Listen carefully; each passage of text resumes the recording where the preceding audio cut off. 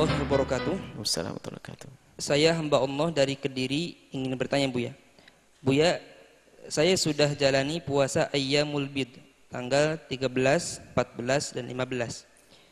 Yang ingin saya tanyakan apabila saya tidak bisa puasa di hari itu karena ada halangan. Apakah saya boleh puasa di tanggal 17, 18 dan 19? Mohon pencerahannya Buya. Syukron.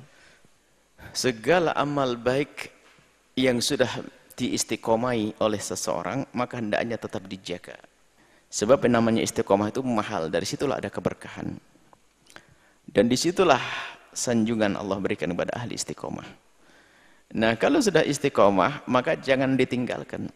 Kalau terpaksa ditinggalkan karena udur syar'i, udur yang kita tidak bisa untuk menolaknya, maka ganti di hari yang lain. Henti di hari yang lain.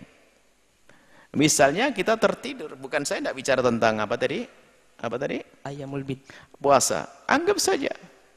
Sholat duha. Terlena, lupa. Dari pagi sampai duhur tiba-tiba, ya Allah saya belum sholat duha. Maka lakukan sholat duhur, sholat. Untuk mem mem memangkas rasa malas di hati kita. Dikodok. Tapi nggak boleh niat mengkodok. Nah, niat mengkodok begini. Sudah saya sudah satu duhaan biar nanti aja deh habis duhur. Wah ini kurang ajar namanya.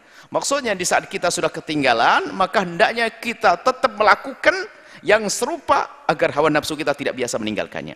Maka jawabannya bagi anda yang biasa dengan ayamul bait, hari putih 13, 14, 15, kemudian waktu itu anda hari haid, anda ganti di hari yang lainnya. Biar anda keistiqomahannya tetap terjaga dan hawa nafsu anda untuk meninggalkan istiqomah bisa terpangkas. Jadi boleh. Dan pahalanya sama nanti pada akhirnya. Kenapa? Waktu Anda meninggalkan puasa ayamul bid karena ada udur, kemudian Anda ganti di hari ke-20, 21, 23, boleh, nggak ada masalah. Sah. Asalkan menggantikannya, menggantinya di hari yang memang dia boleh berpuasa. Seperti itu. Dan jika ternyata Anda punya utang, niatkan saja bayar utang, nanti akan dapatkan pahala-pahala itu semua. Wallahu a'lam bishawab.